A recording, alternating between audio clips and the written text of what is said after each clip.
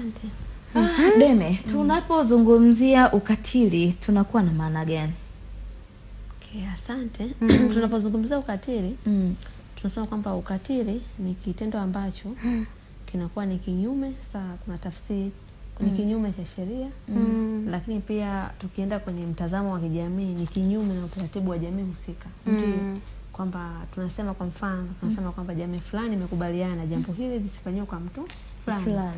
Mm. lakini ikawa mtu akalivunja tayari tunasema kwamba huo nini ni Ukatili. Mm. Okay. ya kwa hiyo ukatili ni kwamba ni kile kitu ambacho mtu anafanyiwa na mwisho wa siku kinaacha madhara Mm. kwa mtendewa Mm. ambayo zinakaa madhara ya kimwili ya kisaikolojia na kwa namna yote ile lakini yanaacha madhara Mm. na ni kinyume cha sheria na kinyume cha utaratibu wa jamii husika Okay. yeah. Mm. Kwa hiyo hiyo ndo maana halisi ya ukatili. mm. ambao anaweza akafanyiwa mtoto mm -hmm. akafanyiwa mama akafanyiwa lakini sasa leo tunajikita kumwangalia nani mwanamke Mwanamke. Ndio. tutaangalia kwa kwa muktadha wa mwanamke mm -hmm. yeah. Na tunapozungumzia huo ukatili tuna aina ngapi za ukatili? yeah, ukatili tuna aina nne Mm. -hmm. kwenye ukatili tuna aina nne ukatili wa kwanza Mm. tuna ukatili wa kisaikolojia Mm. Okay. huu sana mara nyingi umekuwa hautazamwi hauongelewi Mm. lakini ndio tunasema kwamba ni ukatili mkubwa kwa sababu inayoathirika ni akili moja kwa moja Okay. okay. na akili kisha asirika, ndio leo tunaona kwamba kumekuwa na changamoto nyingi kwa sababu Mm.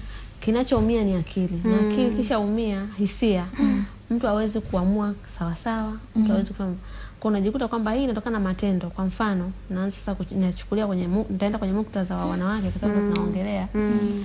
hawa unakuta bani wenza mtu na mke wake. Mm. mwanamke anaamini kwamba ikifika usiku kuna tendo la nini? La ndoa. lakini mwanaume anavaa anageukia Kushoto. mm Se- kisaikolojia huyo kashajiandaa hapa leo kuna jambo nafanyaje Nalipata. hatutokei Mm. Okay. tayari huyo ameasia kisaikolojia lakini pia kwa muktadha ule wa familia baba anaweza tunasema hata mama tu yeye mwenyewe anaweza akamfanyia ukatili mme si ndio Mm.